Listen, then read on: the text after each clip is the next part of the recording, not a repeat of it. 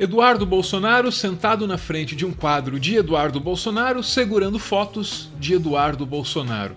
Você sempre ouve que uma imagem vale mil palavras, mas às vezes nem precisa de tanto texto assim. Essa foto, por exemplo, pode ser resumida com as três letras de ego. Vaidoso, consta que Eduardo Bolsonaro pretendia ser modelo. Não foi bem isso que aconteceu. Ele deixou esses planos de lado, mas não a vaidade.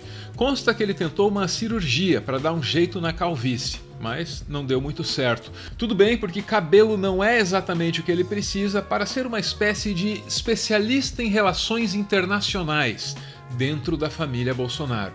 Para isso, não precisa ter cabelo e também não precisa falar inglês. Close up. O que, que você tá rindo, Caetano? É do Bolsonaro, o Eduardo Bolsonaro falando inglês. Na Fox News. É genial. E o cara da Fox News olhou pra ele. O que, que ele fala? Você tem que ver, ó. Já se tem hambúrguer lá nos Estados Unidos. Good evening, Louis and everybody.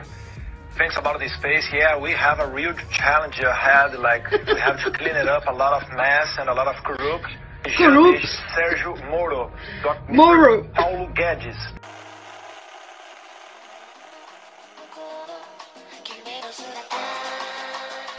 Esse é Eduardo Bolsonaro ao lado de Olavo de Carvalho em 2017. Nessa ocasião, ele transmitiu uma aula pelo Facebook do curso que ele estava fazendo lá com o Olavo. Era o primeiro encontro entre os dois. Pessoal, boa noite. Já está começando a, a entrar um pessoalzinho aí para assistir a gente. A gente sabe que aí no Brasil já passa de meia-noite, mas a gente está falando aqui da Virgínia, nos Estados Unidos, e aqui são 9 e 15 ainda. Do meu lado aqui dispensa apresentações, professor Olavo de Carvalho. Satisfação conhecê-lo pessoalmente. Satisfação minha. Mesma satisfação que o meu irmão teve, acredito que em 2010, quando veio aqui entregar para o senhor a, medalha Tiradentes, né? A condecoração mencionada por Eduardo, de fato, é um momento histórico. Em 2010, Flávio Bolsonaro visitou Olavo de Carvalho e ficou sentado ao lado dele, dizendo aquele tipo de coisa lá que, bom, você esperaria ouvir desses caras mesmo. Agora, eles querem a legitimação de toda e qualquer conduta gay. Quer dizer que uma sauna gay, onde eles fa- faziam um negócio, eu lembro que um aluno falava que eles faziam um negócio chamado navio negreiro. Apagava a luz e todo mundo comia todo mundo. Tá certo? Eles querem que a gente aceite isso como uma conduta legítima. Se você falar mal, você é, você é homofóbico. Aí ele oferece ao Olavo de Carvalho a segunda maior honraria da Assembleia Legislativa do Rio de Janeiro, que é a medalha Tiradentes. Só fica atrás da rachadinha. Então eu queria convidar a sua esposa para vir até aqui fazer a, colocação da medalha Tiradentes no seu, no seu busto. lá. Vamos lá. Vamos só assumir a posição e colocar a medalha no lá para que não ver o presidente atrás.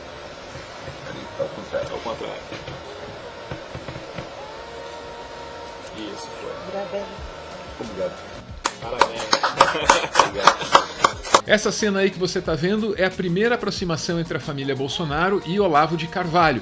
Viria desse encontro todo o repertório de teorias conspiratórias que governariam o Brasil a partir de 2018. A influência de Olavo sobre a família Bolsonaro, hoje meio estremecida, é verdade, começa por Flávio. Durante anos, foi Flávio quem cuidou dos laços, do vínculo entre bolsonarismo e olavismo. Só que aí em 2016, Flávio foi disputar a prefeitura do Rio e deixou essa função para o irmão Eduardo. Eduardo então se tornou um dos discípulos favoritos do guru. Veio dessa convivência com Olavo a suposta qualificação de Eduardo para o campo das relações internacionais. Foi o Olavo de Carvalho o primeiro fiador dos conhecimentos de Eduardo Bolsonaro na arena da política global.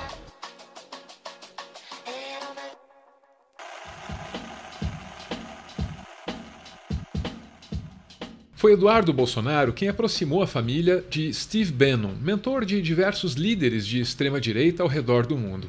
Essa aproximação ocorreu ainda em 2017, antes da eleição que colocou Jair Bolsonaro na presidência da República. Em 2019, Bannon deu a Eduardo Bolsonaro a liderança do The Movement na América Latina. O The Movement é uma articulação global de extrema-direita, populista, que tem como objetivo declarado nesse momento colocar um conservador no comando da Igreja Católica. O plano é derrubar o Papa Francisco. the administrative apparatus of the church has to be changed. Are you feeling confident that after you help bring pretty significant political change to the United States, that you can also impact change here? Uh, absolutely, no doubt. Eduardo Bolsonaro passou a liderar o The Movement aqui na América Latina em fevereiro. Aí, meses depois, em setembro, o pai dele, Jair, abriu a Assembleia da ONU. Vieram rumores de que o texto lido pelo presidente brasileiro teria sido escrito pelo próprio Bannon. Eduardo, então, teria feito o meio de campo. Foi escrito o eixo central pelo guru dessa ultradireita internacional, que é um camarada cavernoso chamado Steve Bannon. Esse camarada foi que fez, por exemplo, toda a estratégia de marketing do Trump e só para vocês verem como o bicho é tenebroso, ele hoje está sediado na Itália, trabalhando toda essa ultradireita mundial. Em eventos internacionais, Eduardo Bolsonaro costuma falar em nome da família dele, já que ele é o único Bolsonaro que arranha um pouco do inglês. Aqui ele aparece num evento na Flórida em 2019. As legendas foram feitas pela equipe de Eduardo, então eu peço desculpas aí pela pontuação confusa. So I want just one minute of your attention to tell you. In 2016, during the elections in the United States, I was in vacations, surfing in Mexico. When I came outside of the water, there was an American couple talking about the elections, and they knew that I was Brazilian.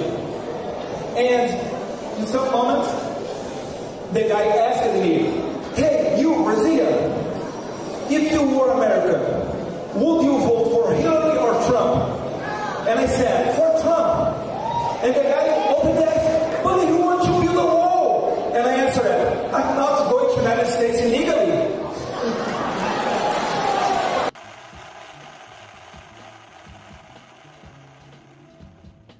Assim que o pai Jair virou presidente da República, Eduardo Bolsonaro demonstrou interesse pela embaixada dos Estados Unidos.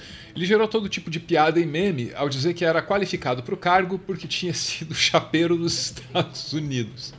É, não sou um filho do deputado que está do nada vindo a ser alçado a essa condição. Existe um trabalho sendo feito, sou presidente da Comissão de Relações Exteriores, tenho uma vivência pelo mundo, já fiz intercâmbio, já fritei hambúrguer lá nos Estados Unidos, no frio do Maine, estado que faz divisa com, com o Canadá, no frio do Colorado, numa montanha lá, aprimorei o meu inglês, vi como é que é o trato receptivo do norte-americano para com os brasileiros. Acontece que para chegar à embaixada, o nome dele precisaria ser aprovado no Senado, e aquelas alturas já estourava a crise interna do PSL, o que dificultava a vida de Eduardo e Jair. Aí ele acabou desistindo. Além disso, tem a, a, questão do meu eleitorado, confesso, não era a maioria que estava apoiando a ida. É, no começo eu diria até que 90% estava contra, mas depois acabou, eu diria, ficando meio a meio, né? É, seria um papel muito importante ser desempenhado. Não é porque não ganhou a embaixada que Eduardo deixou de ser uma voz importante na definição das relações do Brasil com o mundo. Desde o início do mandato do pai, ele se destaca pelas declarações hostis contra a China, que é o maior parceiro comercial do Brasil. O deputado federal Eduardo Bolsonaro, do PSL, gerou uma crise diplomática com a China. Na rede social, o filho do presidente afirmou que a China é culpada pela pandemia do coronavírus no mundo.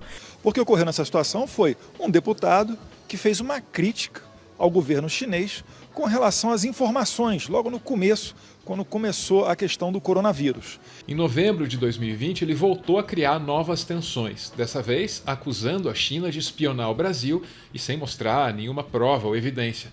Eduardo fez as acusações no Twitter e aí apagou as mensagens em seguida.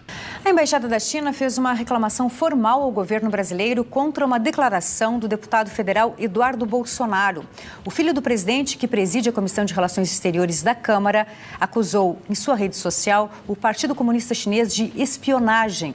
Reclamação formal é nota de repúdio, então saiu barato. O fato é que no campo das relações exteriores a gestão Bolsonaro já seria um desastre, mesmo sem as sabotagens de Eduardo.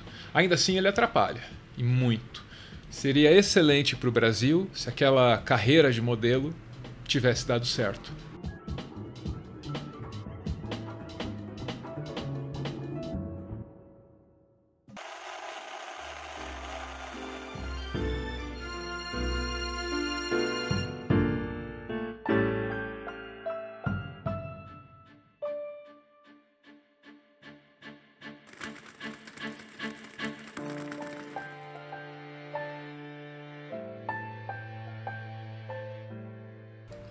Muito obrigado por ver esse vídeo até o final. O Meteoro é mantido graças a uma campanha de financiamento coletivo. Quem participa aparece aqui no finalzinho, que é para receber o nosso agradecimento.